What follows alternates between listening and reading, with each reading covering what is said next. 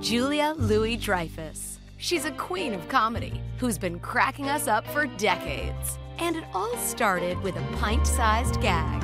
This is biography. Julia says she first remembers taking a stab at comedy when she was three. The bit? Putting raisins up her nose.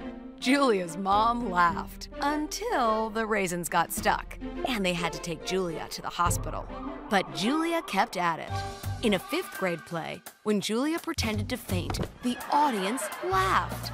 I didn't mean to get a laugh, but it didn't bother me at all.